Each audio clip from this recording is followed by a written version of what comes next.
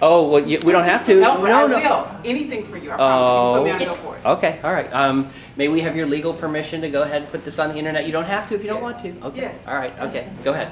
Hi, my name is Key Wilson, and I absolutely love Dr. Rutledge as well. Outside of my husband, you are A1. So I had my surgery August of last year, August 6th of last year. I went into surgery at 284, and I'm at 166.